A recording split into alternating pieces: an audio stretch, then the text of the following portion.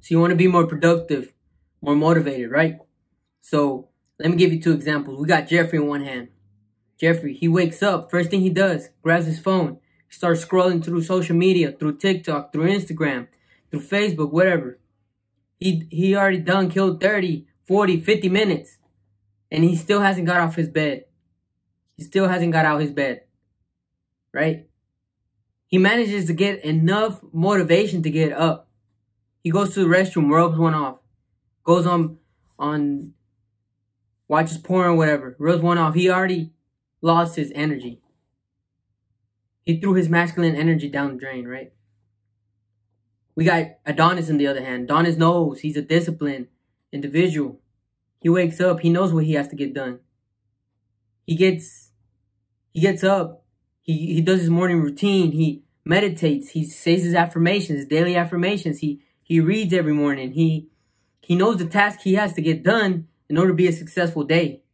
Right? So you will choose who do you want to be. You want to be a Jeffrey or you want to be an you want to be Adonis, right? I used to struggle a lot with being productive or, or getting motivated to to get be have a successful day, right? Uh, I would I would wake up just just like Jeffrey. I would wake up and I would want to be productive. I would wake up, start scrolling. I didn't know how long I would wake up. Nine o'clock, let's say. Next, you know, it was 10, 10, 20. I already done killed an hour and 20 minutes scrolling. Like time just flew. That went, and then once I got enough motivation, I did. Once I got enough motivation to get up, I I didn't want to do. I don't want to be productive anymore. I would find it hard to get my task I needed to get done for the day hard. I, I would find it very hard. But, and I wish, I would always tell myself, oh, I'll, I'll, I'll get that done tomorrow. Tomorrow and tomorrow I would try every day and fail. I would try every day and fail. And I will I got to a point I got over that, right? I started becoming more productive and more motivated to do stuff. I will share my story and I will show y'all what has helped me be more productive, right? So I believe everybody has to have a a morning routine, right? Or or get into a routine of that you do every morning. Get habits down. Get good habits. Get rid of the bad ones. For example, me, I wake up. I wake up every. I always I always wake up early, right? When I go to work, I, will be waking up as early as four, three thirty in the morning, right? When I don't go work, I still try to manage to wake up early. I wake up six a.m. latest, seven a.m. I I still know what I need to get done for the day, right? To be productive. So I wake up. When you wake up, first thing you should do, you should never touch your phone.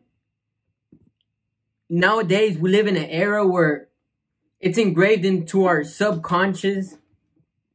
First thing we do, grab our phone. Right? We live in that era now where first thing you do, you're like a monkey. You you don't even think how you don't even have to think about it. What you do when you when you're you're a little bored, you grab your phone right? So that's the type of era we live in. And we got to get rid of that bad habit. That's a very bad habit. When the first thing you do, you wake up and you get on your phone, instead of the first thing you should do, you should get up, open the curtains, get some of that daylight, sunlight to open up your eyes. That, that's good for you. It will motivate you. It will help you more instead of instead of getting your phone and getting that blue light. We're na- we're we're nature beings. Like we connect to nature at some point in some way or another, right? So whenever you get that natural sunlight, it actually motivates you to do something. You get up, you open that curtain, you get that natural sunlight, it, it, it motivates you to get stuff done. And not only that, you pick up your phone, you start scrolling, time, you're killing time right there. That's, you starting off the day wrong by being, not being productive. So you start the day not being productive, that's an L right there. And and it's harder to get back from an L than it is from getting another W once you have a W already accumulated, right? So compound those wins. Stack them wins up. The more wins you stack up, the more you will be more productive. You'll start winning naturally. You'll start doing more productive work. And the other hand, if you start product, if you start stacking up them L's, it would be harder to be more productive because all you you already used to stacking all them L's, waking up late, hitting the snooze button. First thing, use your phone. You start start start stacking them L's. Those will get to you, and you will become less productive. So first thing you do, don't use your phone. Don't get none of that phone screen for at least my rule at least the first hour of your day. Some people might need to extend it more so they could be more productive, right? But first thing you do, don't don't get your phone. If you have to buy a regular alarm clock, buy it and use that to wake you up. Don't use your phone. Put the phone in another room or something. Just discipline yourself. Be a disciplined individual. You want to live like you want to live like that for the rest of your life? No, you gotta change. You gotta change certain habits to be more productive, to be more disciplined. You want to be that disciplined man. You want to be that. You want to be that Adonis we're talking about, right? So, a big, big hack that I think works for me. I don't eat until I got all my big tasks complete. I don't eat. I don't eat breakfast. I I I first I was against this, right? Because I you, you always hear people, oh, breakfast is the most important meal of the day. You hear that a lot, right? You it's been implemented into us since we were young. Uh, breakfast is the most important meal of the day. You can't skip breakfast. Look, I'm just telling you what has worked for me, right? I'm not telling you to do this to be productive. Whatever works for you, works for you. What, what could work different for me may not work for you, but this is what has worked for me. I don't eat until I've gotten all my big task complete. And I feel like I'm more productive like that. The only thing I eat in the morning is coffee and water. And I feel I feel more productive. I feel like I want to shit get I want to get shit done like that. That's has helped me. Don't eat and if you're gonna eat, don't eat large meals with high carbs. If you want if you need to eat something, eat something small. Eat eat something drink a protein shake in the morning or something. Drink, uh, eat some nuts. They're good for your testosterone. Some make it a small meals, and once you have completed those tasks, reward yourself with a with a good meal. That's how I. That's how I do it, right? So, I run off with coffee and water in the mornings, and I go when I go in when I have chance to go into gym in the mornings, th- that's how I do it, right? Sometimes, I mean, obviously, sometimes I work and I can't go in the mornings. I'll go in afternoons. That's a different story. It just comes down to your personal preferences, right? So when I don't go, when I don't work, let's say I'm off of that day, I wake up, I drink me coffee, I drink me some water, and go to the gym. That that right there, I'm I'm being productive already, right? I'm I'm getting my sense. I feel good.